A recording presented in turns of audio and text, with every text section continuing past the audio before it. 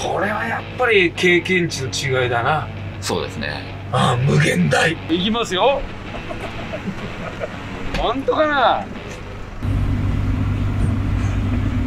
ここんにちはこんにちは3人揃って何してるんですか？いやあの長田さんはい。えー、池澤さん、はい、はいはい、あのー、僕のね、遊びに付き合ってもらって、本当にありがとうございます。ありがとうございます。仕事ですね。仕事ですはい仕事です。もう SUS さんはね、あの G ファン、無限の可能性ですよね。うんああ、そこをね、ちょっとね、遊びとして、こと、ちょっとね、表現したいなと。これね、もともとは、えーと、ここにベンチがあって、はいパカッと、えーと、よくレストランとか飲食店であるようにパカッと開いて、ここに物が置けると。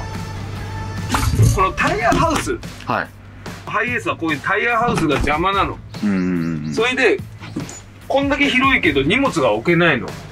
うん。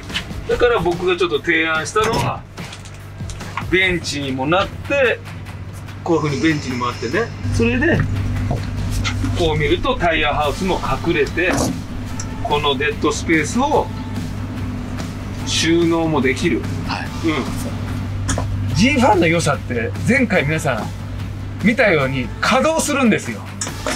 俺これ稼働するもの一個もつけてないの。そうですね SUS さんが稼働してくれる何かをつけてくれると。これまだまだですか？最初見た時はすごい僕は感動したんですけどうんも、はい。ただ、うんゆういちろうさんに負けないように、うんあの僕らはゆういちろうさんに喜んでもらうものをうん盛り込もうと。うんはい。で、その、まあ、2ヶ月ぐらい、ちょっといろいろ考えて、うん。まあ、この改造版をちょっと作りました。はい。い超えたんですか？や、超えましたね。なんだ。嘘だ。嘘だ。嘘だ。嘘だ。いやあの皆さん見たいんでしょ？俺もちょっと見たいですよ。そんだけ愛着が湧いたとか。うんうん本当いか何度も言いますけど、うんいかに雄一郎さんを喜んでもらえるか、あといろいろ雄一郎さんとお話しさせてもらいながら、うん自分僕らで想像してこうじゃないかああじゃないかっていうのをちょっとこの椅子に盛り込んだ形ですねはいそこまでやっぱりおっしゃっていただくっていうのは期待がすごいことになりますよね。大丈夫です大丈夫ですか？じゃあちょっと見てみましょう。見てみましょう。いきますよ。ちょっと収納を作りたいなと。G ファン最高です。もう本当に僕は雄一郎さんがどう喜んでくれるかしか考えずに、うんみんなで考えたものなんで、うん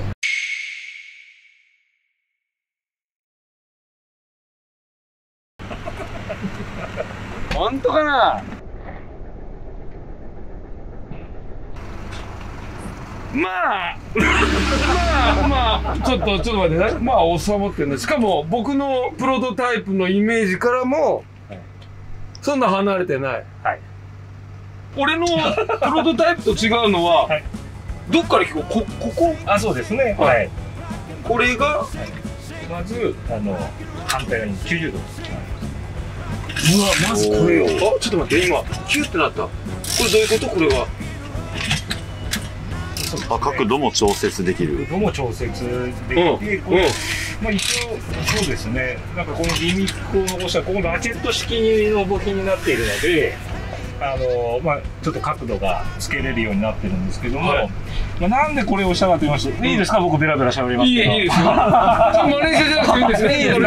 かこれなんでかと言いますと、あのここラチェットの基本的にはここに、はい。そのジュースとか置いていただくようにちょっとここをちょっとあの切り抜いてるんですけども、うんええ角度つけるのはですね、例えばゆういちろさんのお子さんがうん。ここに座って、手をなんか動画とか見たいなって言った時にちょっとこう斜めにしてそうですね。例えばタブレットとかちょっと斜めにしてこう置くとと見れるかな、いや、そうか。うんなるほど。ジュースだけじゃないんだ。はい、これは未来君どうですか？ちょっと一回差がついてたかな？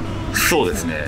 確かに携帯を置けてはい。見れます。はうん完璧なんかするっていう不安もないいし、うん例えばですけども例えばはい、あのなんでしょうもうちょっと本を読まれる時に、はい。はい、ちょっと伸ばして。まあそうそうそうですね。これちょっと、あの、本立て。へちょっと待ってちょっと待ってはい。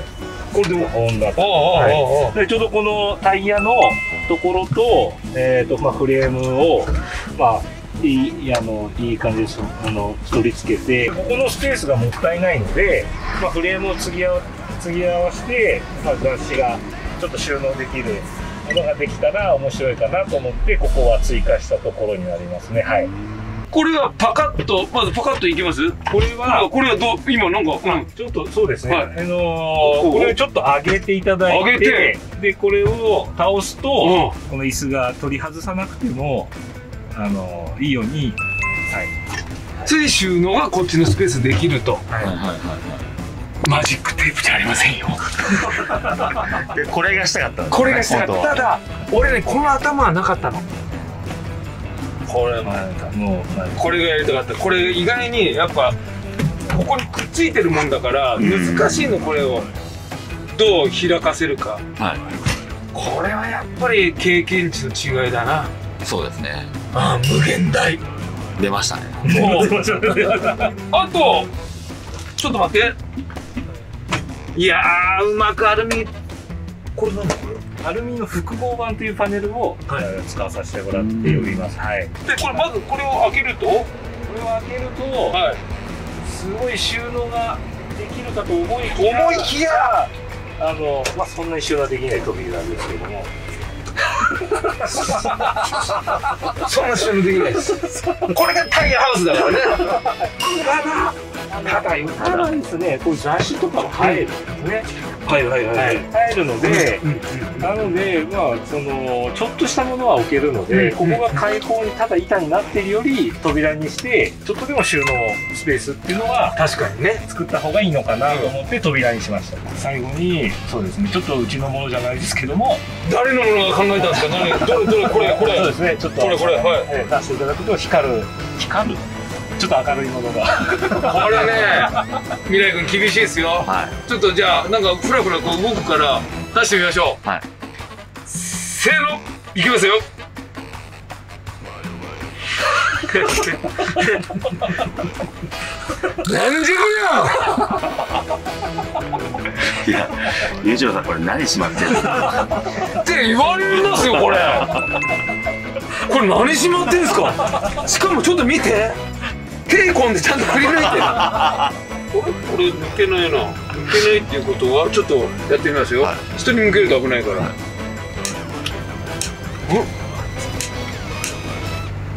見てください。あったかい。光ってます。光ってる光ってる。あったかいあったかい。あれ？これ世田谷ベースで受けるかもしれない。いいっすね。でももうあれで遊び心しかない。これみんな食いつきますかね？食いつくかな？どうですかね。はい。あでもこれいいじゃないですか、はい。他のレンチとかなんか他でもいいわけですよね。そうですね。はい、うんあの引き出し式の収納でちょっとしたものを置いていただけたらと思います。はい。うわすごい。こうやっぱ気持ちがこもってるこれ。しかもはい。未来君これ型も取ってるけどこうやってちゃんと手で取れやすいように。くぼみがある。そうくぼみがあるの。これ多分ドンピシャだったらこれ取れないじゃないですか。そうですどないよりその雄一郎さんへの心遣いがとても詰まってて。ですよ。あったかいですね。あったかい。もう参りました。あ本当ですこういうお付き合いを重ねて、はい。IS カスタムどんどんできればなと。あと気になる点って言ったらやっぱりこっちの面をなんとかしていきたいんですけどそうですね。はい、ちょっと考えてたのは、はい、考えてたのはここの面にはあるんですが、はできるかどうかはちょっとわかんないですよ。これ少しスイングして、こう出てくるみたいなのができればいいかなとはちょっと考えてたんですけど。今回はここをかわしてどうスライドさせるかっていうのはちょっと誰もやってないんじゃないかなとは思ってやっぱ誰もやってないことってやりたいわけじゃないですかそうですよねこれって本当に遊び心だしこのものがやっぱりプロの手によってこういうふうに生まれ変わるわけだからはい。もう俺が愛着持ってます。いや多分僕の方がある やいや本当にもう、すごい愛着がありますので、このゆういちろうさんのディティール、イメージを壊さず、うん。何をここに入れるかっていうのを、入れた。あのなので、そうですね。入れた。はい。なので、すごい愛着があるんで、うん。ちょっと後で取り外そうかな。取り外す前に帰ろう。帰りましょう。帰ろう帰ろう。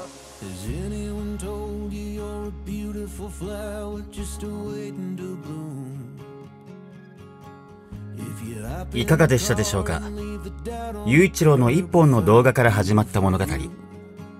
SUS さんのプロの技とそしてたくさんの思いを受け取ってきました進化したポイントのどれもがどれだけ雄一郎のことを思って制作してくれていたのかがとても伝わってくる仕様になっていました。気になることには丁寧に答えてくださりまた当日は温かく迎え入れてくださり SUS さんはとても素敵で優しさにあふれた場所でした。アイディア次第で可能性は無限大。皆さんも G ファンで何か作ってみてはいかがでしょうか？物語はまだまだ続きそうです。今後の展開にもご期待ください。